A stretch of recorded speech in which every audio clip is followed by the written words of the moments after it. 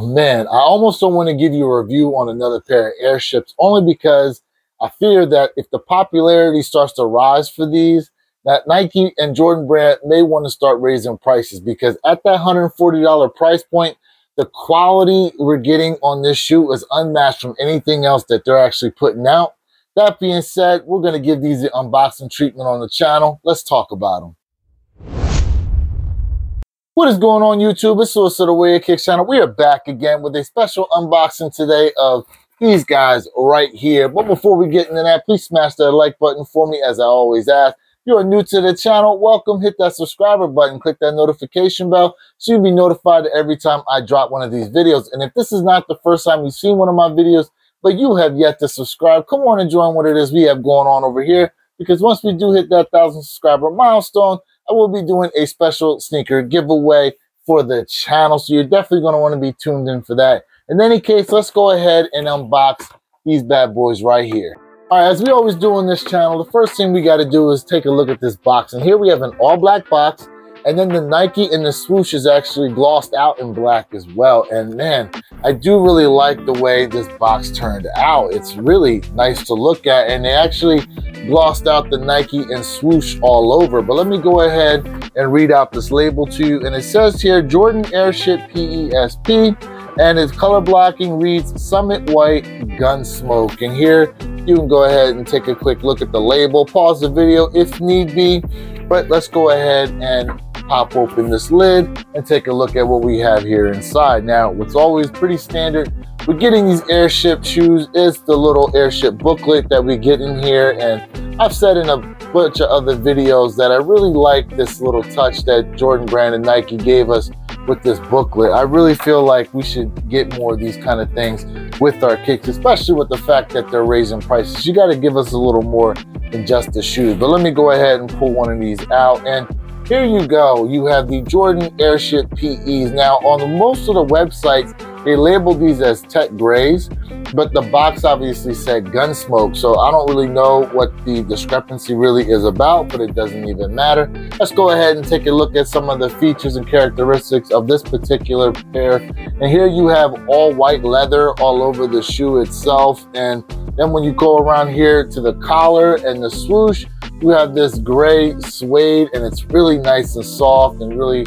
hairy suede there. Let me go ahead and give you an up close look. And then you can also see embroidered there in a little darker gray. They put Nike Air on the back. Now, this is a, different than the other two uh, PE airships that I actually reviewed for you to where it wrote every game on the back instead of this Nike Air on the back. So it is somewhat part of that, you know, player exclusive, but not necessarily part of the every game pack. In any case, going around here, I actually went ahead and laced up the white laces that come pre-laced in both of the shoes and here the tongue. You actually have that age coloring here on the tongue and then taking a look at the tongue tag it actually matches the color blocking of the gray that's on the shoe. And then taking a look here in the sock liner let me give you a look at that. Now you do have somewhat of a darker gray sock liner. And then looking down there on the insole foot pad, you have a white foot pad with the gray Jumpman. And then also a touch that I really like is the fact that they put the actual size of the shoe on the inside of the collar. That's actually something old that they used to do. So I think that's really cool that they're giving it to us again. And it used to come a lot on the older Jordan 1s. But going er and looking at the outsole and the midsole here, midsole, we just have a white midsole. There's no aging to that, but the outsole itself is that dark gray outsole and just the overall look of the shoe and the quality of it. And let me tell you something else. See, the smell of the leather. This smells like a leather coat. I mean, they really did their thing as far as the leather they put on here. And the fact that the price point on these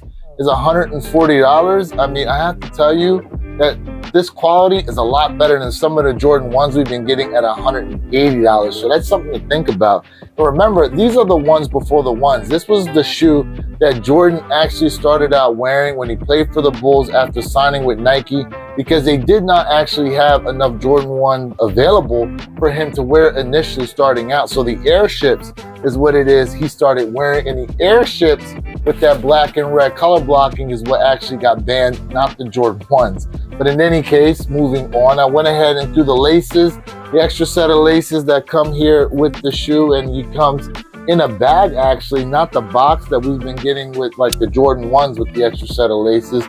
But I really like the way the gray laces look in here versus the white ones. And go ahead and take a look here at both shoes with each set of laces in them. And you let me know what you think is a lot better, the white or the gray. Me personally, as I said, I definitely like the gray a lot better. And man, let me tell you, these are something that I think at some point, the word's going to get out about these because they're growing as far as popularity is concerned. And just looking at what the pulse is through Twitter and the way people are talking about them, people are really starting to take notice of the airships. Now, I know we're supposed to be getting some collaborations later on this year using the airship silhouette, so that's something else to look out for.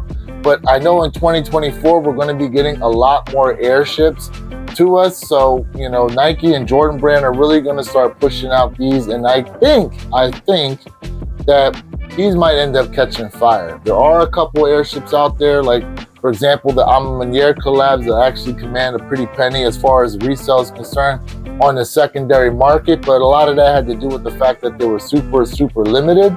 But these here in particular, I think at some point people are going to catch on to the quality and what it is we're getting at a much, much cheaper price point than most of your Jordan ones or most of your Jordan sneakers out there anyhow. You know what I mean? So that is just something to think about moving forward. Now, if you don't like the silhouette, you don't like the silhouette. It is what it is. But, but, telling you now, don't don't be too surprised if these actually start to catch a little bit of fire and start to command some money on that resale market.